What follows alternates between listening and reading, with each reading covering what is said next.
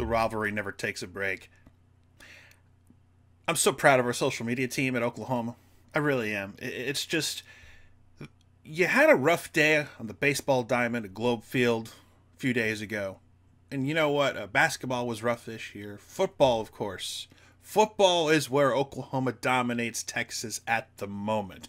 And in excruciating reach into your chest and rip out your heart type of fashion. And there's like no better way to beat your rival, in my opinion. You could beat them down, we love the beat downs of 2011, 2012, 2000, 2003. But there is something so satisfying that when you're going toe to toe and you know both teams have given their best, but you're just a little bit better, and they got to live with that year after year after year. And right now, Texas fans have to do that too because yesterday they put out a you know everyone's hyping up spring practice. You love to put out the clips of like oh look at this amazing play made in a scrimmage and texas did that very thing. Take a look.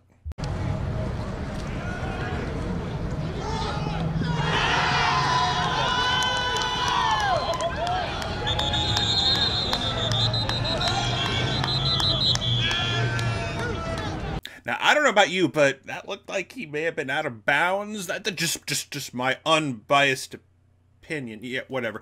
Uh, but the point of the matter is, today Oklahoma posted their own clip, and they said two feet.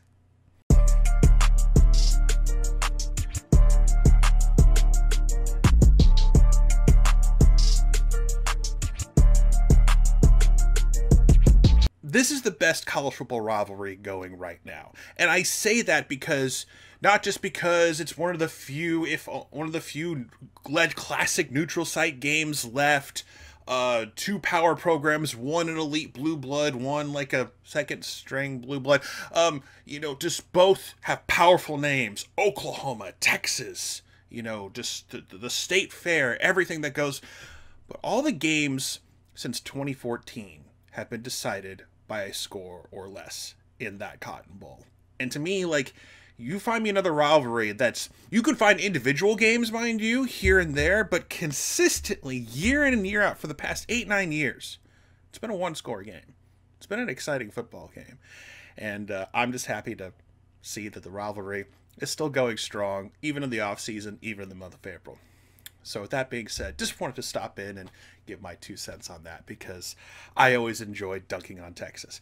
Boomer Sooner, you have a good one. Softball tonight. So listen on the radio if you can. If you got Bally Sports Extra, check that out. I will catch you all later. Boomer.